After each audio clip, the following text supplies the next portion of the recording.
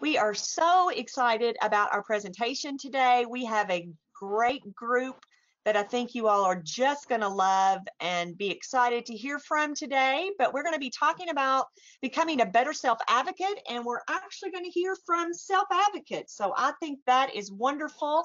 We're very happy to have some of the yes group with us. Let me mute everybody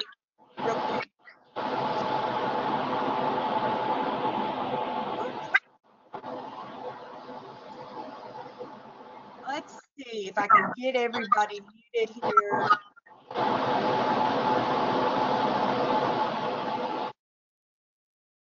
Okay, there we go. All right.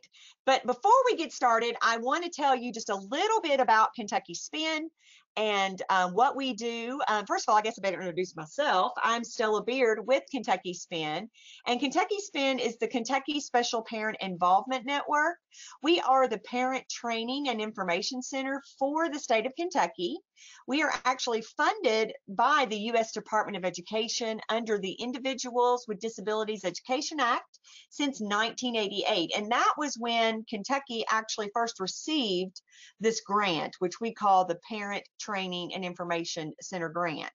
Um, we are um, the Parent Training and Information Center for Kentucky. There's one in every state, and some states have more than one, but Kentucky only has one. We have actually been that since 1988. So going on, what is that, 30 years now? And we also just received um, funding for an additional five years. So we're real excited that we still get to continue this work and we're able to provide training, information, and support for children and youth with all types of disabilities. We say birth through age 26, but we never turn anyone away. So I'm real excited that um, we're going to be able to still continue to do the work that we do. It's much easier for me to tell you what we do not do than what we do, but we do not act as attorneys. Um, however, we empower families to effectively advocate for their kids, and we provide peer support to help families access needed information and resources. All of our staff and consultants are either parents who have a child or a young adult with a disability, um, or someone with a disability themselves, or they have a sibling with a disability. I personally have a 24 year old son with a disability. And so I've been doing this for many, many years and excited um, that I get to continue um, to work with families um, throughout their um, time with their child and young adult. Um, we have been doing webinars since March when the pandemic first hit, March of 2020. And we pretty much have been doing two webinars every week. We do one on Tuesdays, which is called Tuesday Tips, which is what we're going to be doing today. And then on Thursdays, we do a webinar that's just on a variety of different topics. But I love this slide because it says together we can accomplish great things for our children. And none of us have all the answers, but we are all working through this pandemic and adjusting as we go. And we all know that we have had to make a lot of changes during this time. Um, but I want to introduce you to um, Donna Fox. Donna Fox is the director for the Young Empowered Self Advocates or the YES Group. And Donna is actually going to, um, when I get her PowerPoint up, she's going to introduce um, everyone. And I would ask everyone to stay muted until Donna introduces you so that um, um, we can keep the noise and the static down as much as possible. And then while the presentation is going on, after you've had a chance to introduce yourself, if you don't mind to go back and mute yourself again, or I can mute um, you so that we can keep um, our um, outside noise down as much as possible. But Donna, if you could unmute and um, say hi to everyone. We're so excited that you've joined us and that you brought your folks with you. We can't wait to hear from everybody. Um, let me make sure, Donna, you can unmute. I might have to do it for you. I am showing unmuted on my end. Yay, there you are. Great, great. Well, um, you just, I'm going to run your slides for you, but if you just, if I don't do them quick enough, you tell me when to move to the next one and I will be happy to, but I'm going to let you take it away. Thank you, Miss Stella. So everyone, I would like to welcome you to what we call our YES program. And YES stands for Young Empowered Self Advocates. So if we could go on to our next slide. All right, so today I'm really excited to bring my team with me on this presentation. And as Stella said, I am the director of the YES program. And with me, I have my assistant director, Stephanie, community co-leader and Hour to Empower mentor, Tyler, community member and Hour to Empower mentor, Sarah, Yes community member and also an Hour to Empower mentor, Nate, and Yes community member and Hour to Empower mentor, Winter. And I will start with my introduction. Again, my name is Donna. I am a person with a disability. I was diagnosed with juvenile rheumatoid arthritis when I was only four years old. So that makes me a 51 year veteran to living as a person with a disability. I learned very young that self advocacy is very important and that I had to start speaking up for myself very early, as early as middle and high school, in order to get some of the accommodations that I needed there and throughout my college experience, as well as my living life experiences. And I'm actually going to ask Miss Stephanie to unmute and tell us a little bit about her.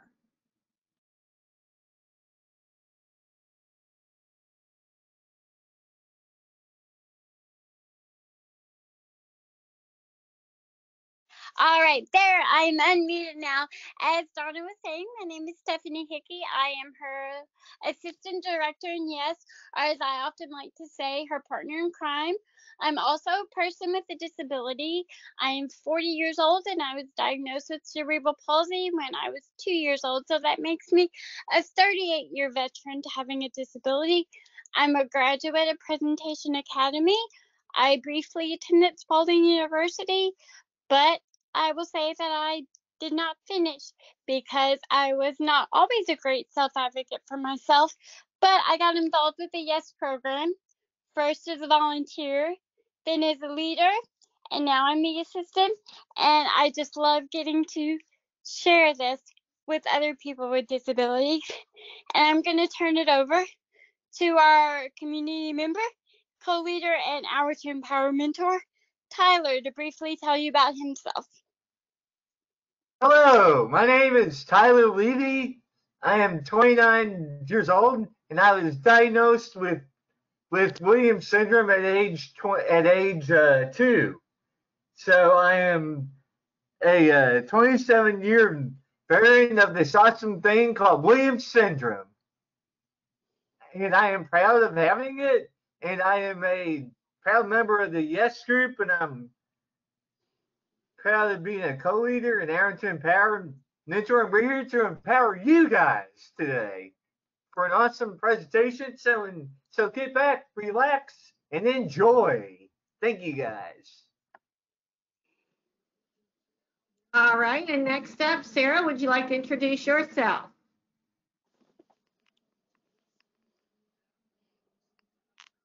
Hi, um, um, as the scream I say, I'm not Stephanie Hickey, but I signed in with her link today. But I am Sam and I'm a 39 year veteran of this thing called cerebral palsy.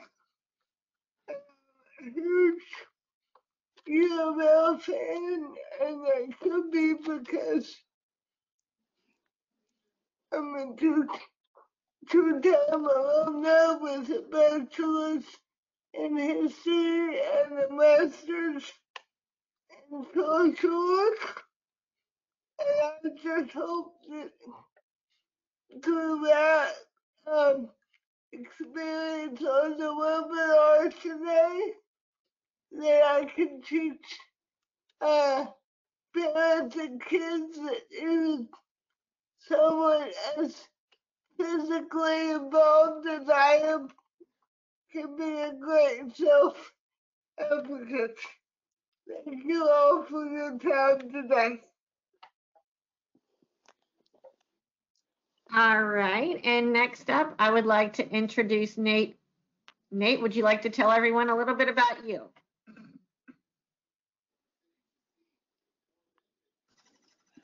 Okay. Um, I'm Nate Creech and I've have a disability. I have spina bifida.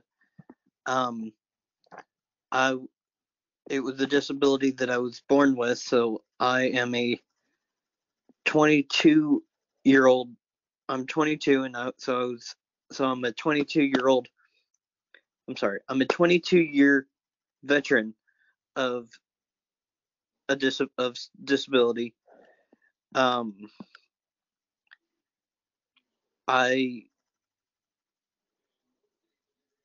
I in middle school I had a little bit of trouble advocating for myself. So when I found the Yes group, it was the best program for me.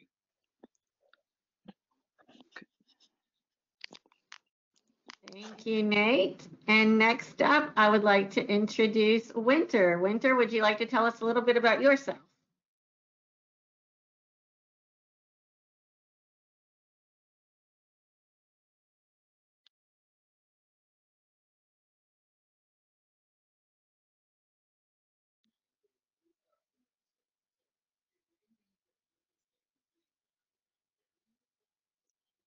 Winter, can you unmute yourself? I, I'm trying, but it says that um, you're you're muted.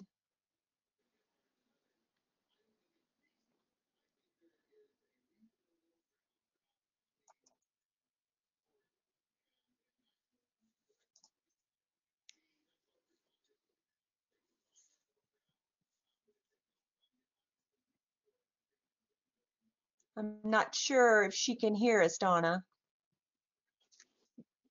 She is still muted herself. Winter, can you unmute yourself?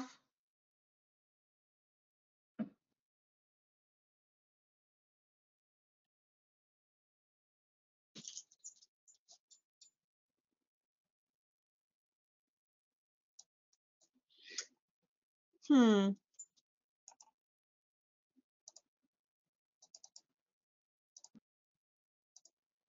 She may Yeah, have she should- difficulty seeing it. Yes. uh, Yeah. Win- Winter is visually impaired, so it may be difficult for her to see it. Okay. Well, we'll we'll uh, we'll keep working on it, and hopefully she will be able to join us in a minute. Absolutely. So I'm going to go ahead and um, tell you a little bit about our YES program. Um, this is our vision. And uh, what we are is the Young Empowered Self Advocates. We're a network of a diverse group of individuals with disabilities working to empower youth, young adults, and community members with disabilities so that they can maximize their potential and succeed in their life endeavors and learn to be as independent as possible. And you see a few of our members here um, at one of our community meetings, and we were using the word independent to come up with what independence means to us. And you'll see things like I can, no barriers, determination, equality, and more. So we're a really active group. Next slide, please.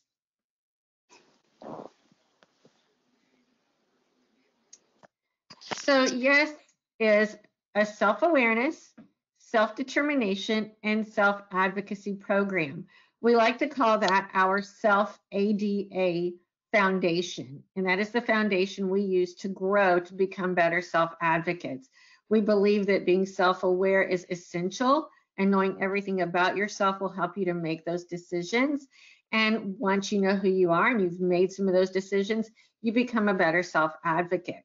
Yes is a positive personal development program. Yes is about you. It's about you being a person with a disability seeking independence. It is knowing who you are, your likes and your dislikes, your weaknesses and your strengths. It's knowing what you can and cannot do. It is learning how to make those decisions. Independent decision making and supported decision making are both included in our program because sometimes we need help making those decisions. Yes is about setting realistic goals for yourself. And real is a word we use a lot in our program because if you're real with yourself and you set those goals, you'll be more likely to see those goals to fruition. Yes is about self advocacy and being able to effectively communicate your wants and needs. And one thing we stress in the YES program as well is knowing that you're a person with a disability and knowing what that disability is and how it affects you. Miss Stephanie, I'm going to turn it over to you. And yes, is a big tree with lots of branches. They have a lot of things. Uh, we have our community meetings, and you see some of them pictured here. We have our Hour to Empower, and that's where we go into the schools. And every person on that mentor team is a person with a disability. And of course, we have three of our wonderful mentors on the call with us today. We also have something very new called Advocates in Motion, and that's taking the message of speaking up for yourself in advocacy to the, to the legislative level, how to speak up to legislators, and also basic civic education for people with disabilities. Now, COVID's kind of put a damper on this, but we also had Yes Adventures, and that could be something as simple as going out bowling, going to a movie theater, doing a karaoke night. We've tried to keep it up virtually, and we're going to get back to it as soon as COVID's over. And of course, we have our big events. We've had fishing trips, we've had Halloween parties, and we always try to tie in something very serious. Like for our Halloween party, we also have a discussion called Facing Your Fears. So it's not just a fun costume contest. We talk about the things that is people with disabilities that kind of scare us. So we're all about the message of empowerment and we do it in a lot of fun, creative ways. Next slide, please. Because we firmly believe yes matters so much because knowing who you are, making decisions for yourself, and speaking up for yourself and being a self advocate those are the keys that are going to make you successful in life as a person with a disability. It applies to everybody, but it especially applies to people with disabilities. It is super important to have a voice in your own life, in your decision making, and determining your future. Next slide, please. And as I was saying, yes is a lot of people. Yes is our leaders, Donna and myself, but it's also our co-leaders, some of whom are on the call. It's our mentor team, some of whom are on the call. It's all our community partners. It's all the students we see in the classroom. It's all our teachers. It's all the youth and young adults. And as I like to say, the older young adults are the young at heart. And of course, we can't stress this enough. It is all of our parents. So a lot of people make up yes. Next slide, please. And we have some of our success stories. We've had students such as Allie, first pictured here, who was a student in the classroom and decided, I want to be a mentor next year. And of course, she's a mentor on our team, and she also works out in the community. And Tyler is another success story. He's been with us for quite a while, and he's one of our mentors and co-leads and has a job he loves out in the community. So he's another yes success story. And pictured here, here we have our yes couple, uh, two young wheelchair users who are married and love to talk about being married. And Miss Symphony is also a peer mentor. So she's one of our success stories. And of course, Sarah mentioned it earlier in her bio, but she's a proud college graduate and very proud to be so. So she's one of our success stories as well. And Miss last, Stephanie, can you hear me finally? Yes. Okay. And that is Miss Winter talking. I didn't mean to interrupt you. I finally got unmuted. Oh no, that's fine. Uh, Miss Winter is not pictured, but she's also one of our success stories. She is one of our peer mentors, and she's a person with a disability that has a child. So that's another level of success. And our final person pictured here is young Travis. And I think the world's got to watch out for him because I think he's got the bug for legislative advocacy. And you can see him picture here talking to one of the legislators. So we have a lot of success stories. Next slide, please. All right. And we are to our questions, aren't we? We are. Thank you, Miss Stephanie. Miss Winter, before we go further, would you like to introduce yourself? Thank you. I would love to introduce myself. As Miss Donna said, my name is Winter Renfro, and I happen to be an individual with a disability. My disability is retinitis pigmentosa, which is actually a hereditary d- disease that uh, destroys and kills the nerves in the retina. Um, I was diagnosed when I was 18, and I've had this since then, and I'm 42. So 34 years of having this. I'm the only one in my family that has this. I am a Brescia University alumni with a degree in uh, a bachelor's degree in social work, and I have a child that will turn 11 in March.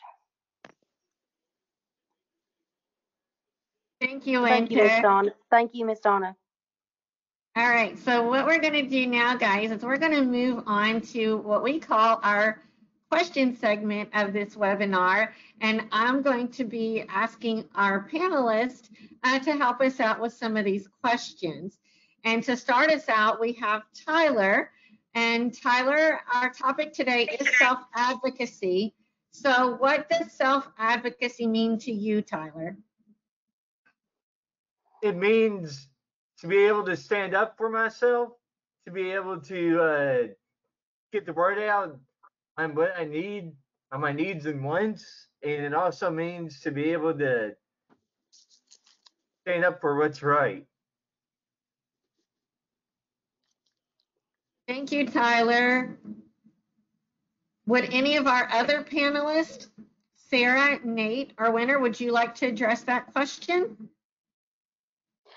Sure, Donna. I, this is Winter. I'll jump in. As a parent, self advocacy means to me is to stand up for what my child's wants, needs, and desires are, whether it's in the community, family, or in school, because my child does have an IEP plan. Thank you, Winter. hmm And uh, Sarah? Sarah, I think self-advocacy is a big part of uh, knowing yourself. And ourselves change over days, months, years, and decades. So we need to know how we change and accept those changes to be able to better get what we need and to speak better for ourselves. Thank you, Sarah. And Nate, would you like to address that question?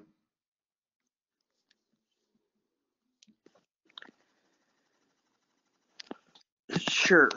Um, it it means that for me it, it means that that to speak for myself and not um even if somebody thinks that they know what I'm wanting to kind of correct them if they're wrong maybe yeah So even if someone has other advice for you, you know that you still need to follow yourself and your thoughts? yes yes All right, thank you, Nate. Our next question, we're going to start with Sarah. And this question is being a self advocate means knowing yourself. So, what is self awareness and how important is it to you being a self advocate?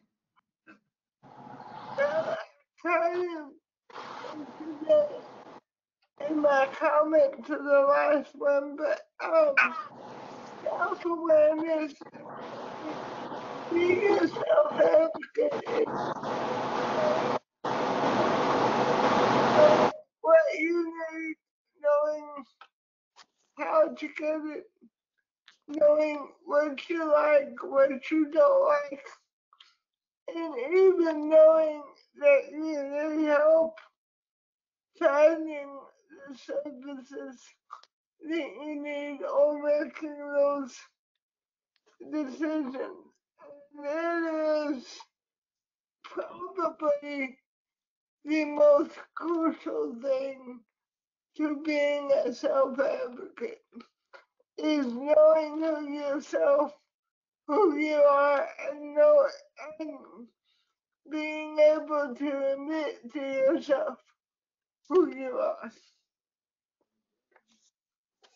Thank you, Sarah. Would any of the other panelists like to address that question?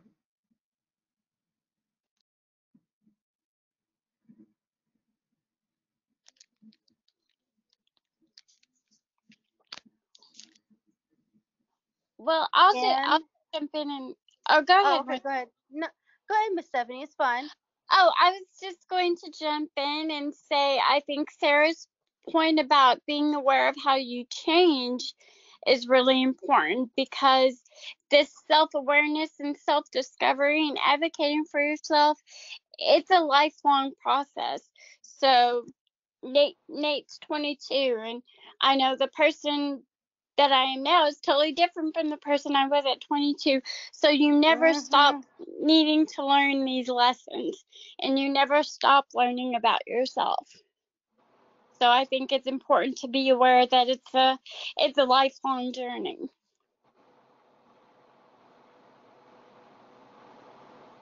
Winter, you had something you wanted Yeah, uh, kind of along the lines of what you and Sarah were saying. Um, you learn something about yourself, or at least I do, um, every day. And so, if you're aware of what you learn, then that will in turn assist you with advocating for yourself.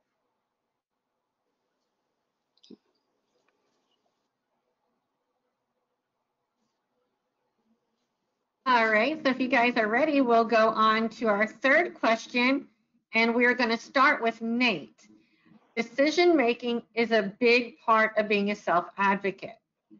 As a self advocate, how do you go about making decisions when someone is trying to guide you into a choice you do not want?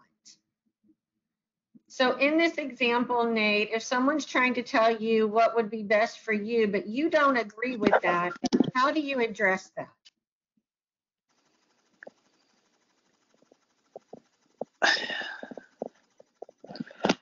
I try to be I try to um I try to tell them that I think that I have a better way of going about that situation. Um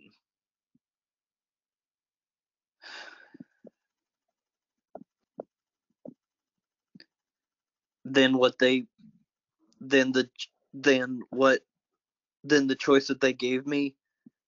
Um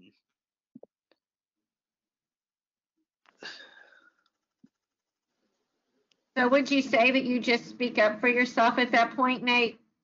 yeah, basically. That's a big part of self advocacy, guys. Would any of our other panelists like to address this question? That I would um, Okay, go ahead, Sarah. piggyback on what they said. Not only do I speak up for myself, but the person I do, especially if it's an elder, but even if it's not an elder, I make a habit of saying, I know um what you mean for me and I respect your choice, but this is the way I think I need to go. And so that way we can both have a dialogue and maybe pick out parts of both ideas that make the best decision. Does that make sense?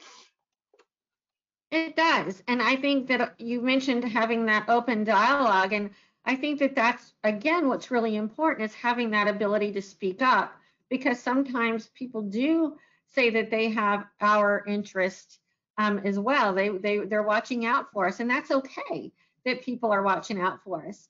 And it's okay to, again, to have that open dialogue and to let them know that it's my decision and this is what I want to do. Donna, Would anyone else like to address that? Yes, Nate. um, just to piggyback on what uh, Sarah just said, that is actually what I was trying to say is that um, to it, in my answer was that I have a basically what she was saying is thank you for that suggestion, but I think I have a better way. Is basically what I was trying to say in my my thing. So I think she read my mind. Well, That's the power of self-advocacy in the YES program, guys. Um, so, uh, would anyone else like to address that question that's on our panel today? Well, I'd just like to also piggyback on Sarah's point of having a dialogue because I think sometimes people confuse saying, no, I'm going to do it this way as disrespect. No, we are totally not about disrespecting. Yes, we're just about making your voice heard and having that dialogue and finding compromise when you need to. Or when you don't need compromise, standing up for yourself.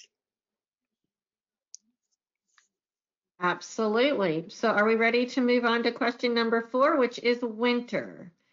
And um, that question, Miss Winter, is, can you speak to a time when you had to be a self-advocate and speak up for yourself?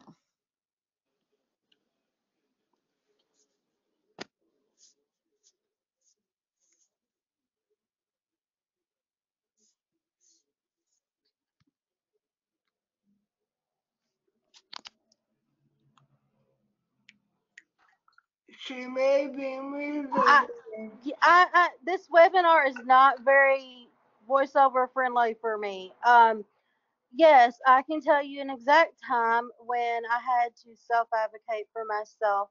Um, like I said, I am a Brescia alumni. I am the first alumni that they've ever had at that school to obtain a degree um, that happens to be blind. And I had to take a simple biology class um, for my undergraduate degree. And, um, you know, every semester you go in and you have your your letter of accommodations and you meet with the professor and talk to him and really tell him what you need and and I thought he understood exactly everything that I needed and everything was going okay but for the first 2 weeks he taught to a class that could totally see and didn't describe anything. And so one day after class, I had to take him aside and say, Look, I am blind. I cannot see what you're drawing or what you're saying that's on the board or on the projector. Um, and I cannot see anything that's down in the microscope. And so after doing that, I basically told him he's got to start teaching to a class that has somebody that's blind in it. And um, lo and behold, the girl that sat beside me, she also took my notes for me, ended up being my lab partner, and she was awesome. She described everything. And after that, he started describing everything that needed to be. Um, like I said, you know, I, I had to teach some of these professors on that campus how to actually instruct with someone that that was blind in their classroom. Thank you, Anna. And if you guys are okay, let's go ahead and go to our next slide. We want to be sure that we can address these questions today. All right, so we're back to Tyler. Tyler, can you speak of a time when you wish you had spoke up, but you did not? I would say this girl whose father was a bit of a mean guy. And as much as I wanted to speak up, I didn't want to get on his bad side. So that's why I didn't speak up because I was afraid that if I did, that uh, something would because this guy was actually really dangerous. Actually seems like very dangerous guys. So. Thank you, Tyler. So Yeah. sometimes we let the motivation for being a self advocate sometimes be that safety zone, and maybe feeling safe was more important than to speak up. And that can happen as well. Yeah, Would anyone exactly else like to address this on the panel? Yeah.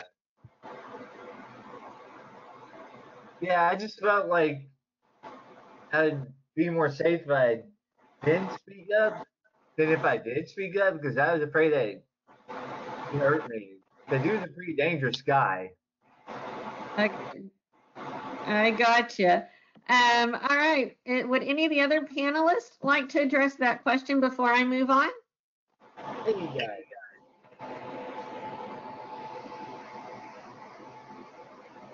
All right, let's go on to question number two on this slide, and we're going to start with Sarah. I think this is going to be one that um, several panelists may want to speak to, but we're going to start with Sarah.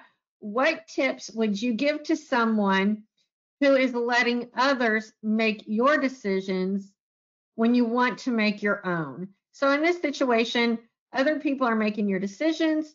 You want to make your own. So what do you do as a self-advocate? Well, first of all, the first thing I feel like you have to do is get to know yourself. Whether that's standing in front of the mirror, whether that's writing down your attributes or weaknesses, whatever, you have to know yourself. And then once you do that, you can go to the person and say, okay, okay I understand this is what you think I need, but respectfully, I'm the one that lives in this body, I'm the one that lives in my life. Can we try to find compromise between the two? And then go from there. Does anybody else want to add to that?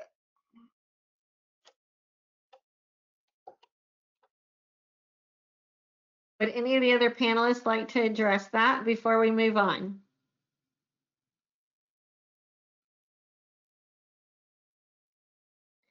Oh, I'm going to um, add something to this one. Um, I think that sometimes we get caught in a situation where others are making decisions for us, and inside ourselves, we're thinking, I know what I want.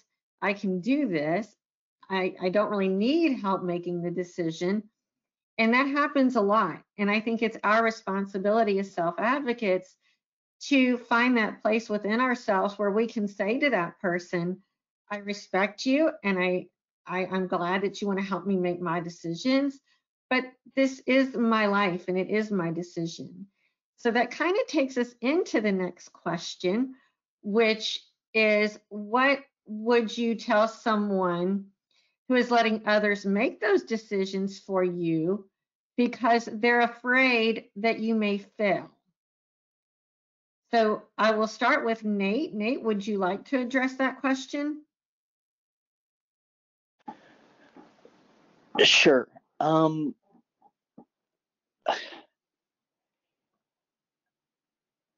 I would just tell them that, uh, like, like Sarah said in the last question, um, I can make my own decisions. Yes, I may fail, but I will learn from that and um I'll make another decision next time. Uh, just because I failed doesn't mean that I have doesn't mean that you have to make the right decision for me. I can learn from it. Does that make sense? It does indeed. Would any of the other panelists like to address that question? And to extend off of what they said, for me, I came from a world of academia where failure is not an option. But now that I'm in the real world, I say, I've come to realize that failure is how we learn and it is how we succeed. So failure is something we need. So I think it's best that we tell those around us sometimes to let us fail because we will be better people for it.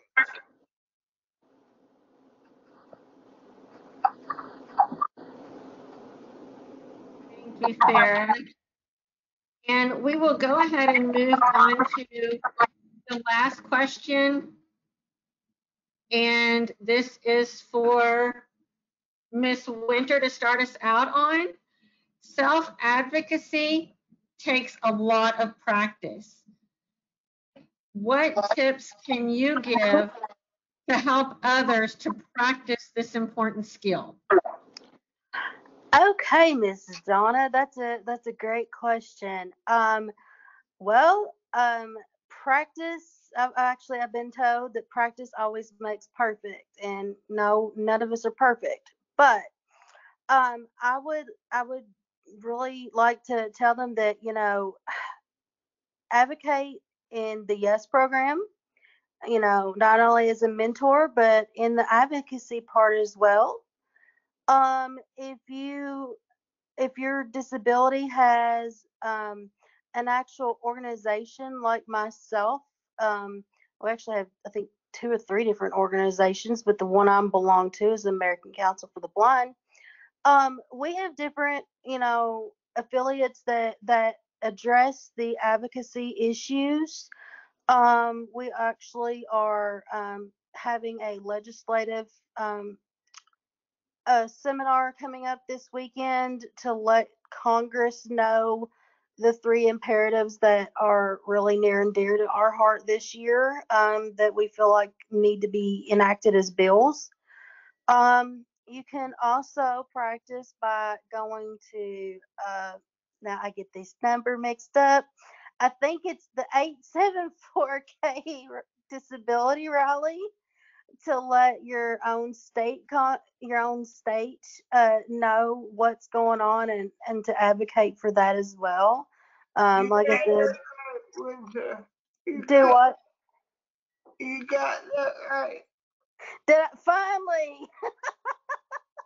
I always mix the numbers up, but just just practicing. You know, as as much as you can practice, even if it's just out in the community when you go to a restaurant and you want something a particular way and and like for myself i like things cut up for me because it's just easier just to advocate for yourself in any way that that you can think of whether it's something small or something huge you never know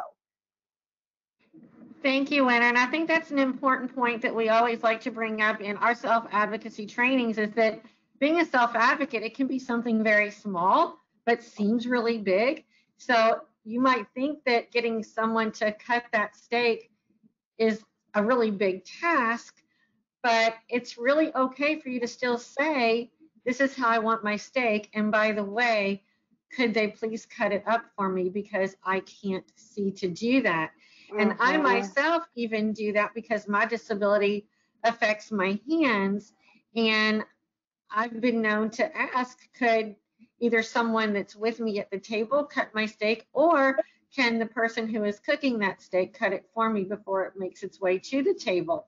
So even though some of these might seem like small um, task, it's still sometimes really difficult to speak up for yourself and to practice does as winter said it does not necessarily make perfect but practice does make better and i know for um, us on the call we range from 22 to 55 and i can say that i think with time we all get a little better at learning to self advocate so take those small opportunities as well as those large opportunities to speak up for yourself and when you're Donna, speaking this go ahead. Yeah. This might this also might be small too, but and I mean I just this is just me personally. If I'm in a restaurant, I'm gonna enjoy my meal a whole lot more when I advocate for the way I want it instead of having somebody at the table do it for me. It, does that make Absolutely. any sense? It does. And and and there's a comfort zone that comes with being a self-advocate. And Mhm. what makes one person comfortable might not make the next advocate comfortable. So find your comfort zone and advocate on behalf of that. And I think that sometimes that's where we get too concerned about what another person might think. But we got to remember this is our life. And in order to become as independent as we can, we need to be the voice for our life. And um, Mhm. would any of my other um, panelists like to speak to this before we go on and give some um, some real life examples? Very quickly, uh, I would just say people often think advocacy is a big stuff. Legislation, marriage, um, college, whatever else is big out there. But I would say if you're new to advocacy, start with the small stuff even if it's picking out what you want to watch that night during dinner or what you want to wear the next day. That start small and build on that.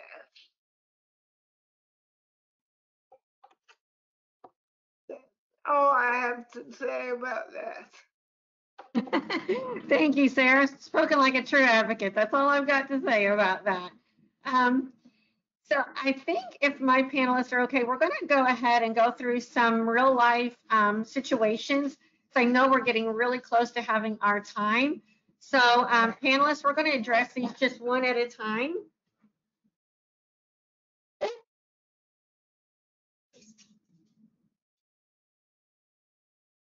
Okay, my mic is going in and out. I hope you guys can hear me. So Tyler, we're going to address your first one. You're assigned a seat to the back of the classroom, but you cannot see our focus from the back. What do you do, Tyler? I would speak up to the professor or to the teacher and be like, I'm sorry, but I cannot hear or see in the back. Would you be willing to move me up so I could see and hear better? Perfect. And Sarah, for our first home situation, your parents do everything for you at home, but you want to be more independent. You want to learn independent living skills such as cooking, cleaning, laundry, riding the bus, etc. But your parents will not teach you or help you. What do you do? I would maybe get a friend or someone to help advocate for me, or even, even talk to one of my advocate friends like the Yes Group and see if they have a class in any of those independent living skills that I could bring my parents with me to let them see that it's safe for me to learn this and that I can do this.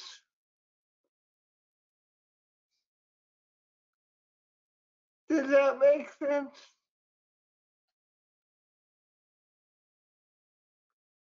It does, Sarah. Thank you. And could we go to the next slide, please?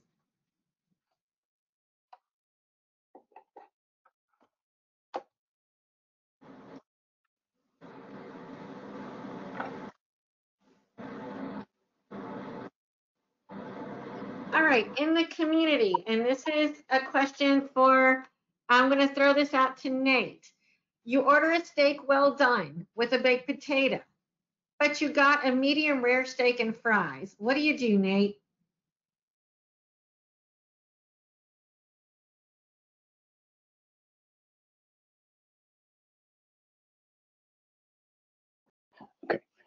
Uh, I would ask the waiter to get me a new steak and uh and a new potato or and a potato instead of the fries like I originally ordered. Absolutely. And again, you might not think of this as being a self advocate, but how many times have you gotten the wrong order and you just accepted that order because that's what they gave you?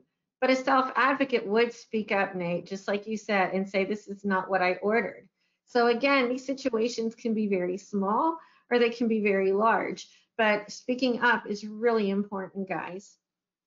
So let's move on to the work situation, and I'm going to toss this one out to uh, Miss Winter. And for this one, Winter, your supervisor assigns tasks that you do not understand and you do not know what to do. What do you do, Miss Winter? Well, you know, first I would use that stop, think, and choose method um, to figuring out what needs to be done. Um, after doing that, I would go to my supervisor and say, I'm sorry, I do not understand what you're asking or what task needs to be done first. Could you give me some guidance, please? Perfect. And then our last um, situation involves peers. And I know we are running short on time and we are not going to get to all of these, but I am going to toss out one more of these situations. And I'm going to ask if my co-lead, um, Stephanie, can help us out with this one. Your friends want to call you by a nickname, such as Matt, but you want to be called by your actual name, which is Matthew. So what do you do in a situation like that, Miss Stephanie?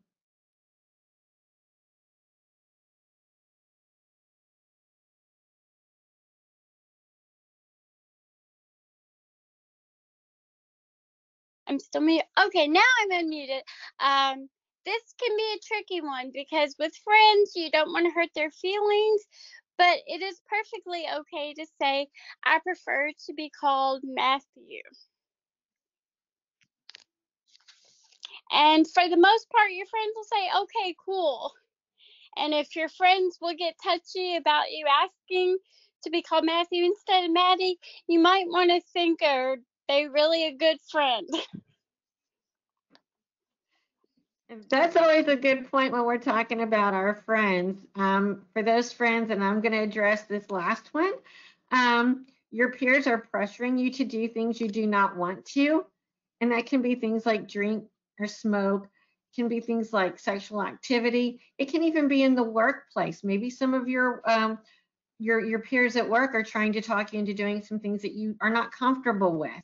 So if your peers are trying to pressure you and you're not ready to do any of the things they're trying to pressure you to do, no matter where that is, what do you do with your peers? What do you tell them? And I'm going to open this up again to Miss Stephanie and our panelists. So Stephanie, would you like to address that one? Well, you can just say I'm not ready to do that. And again, for the for this it's the same point as the nickname. If they don't want to be your friend because of something you don't want to do, then you might want to evaluate what kind of friend they are. Because if you have a true friend, they're going to say, okay, cool, you don't want to drink, that's fine. We can go somewhere else, or you don't have to drink. So, do our panelists have anything to add?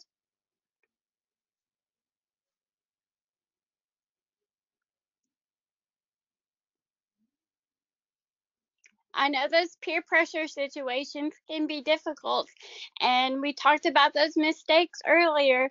And I can say I've been in those situations where I've been peer pressured, and wasn't a strong advocate for myself and made those mistakes, but I've learned.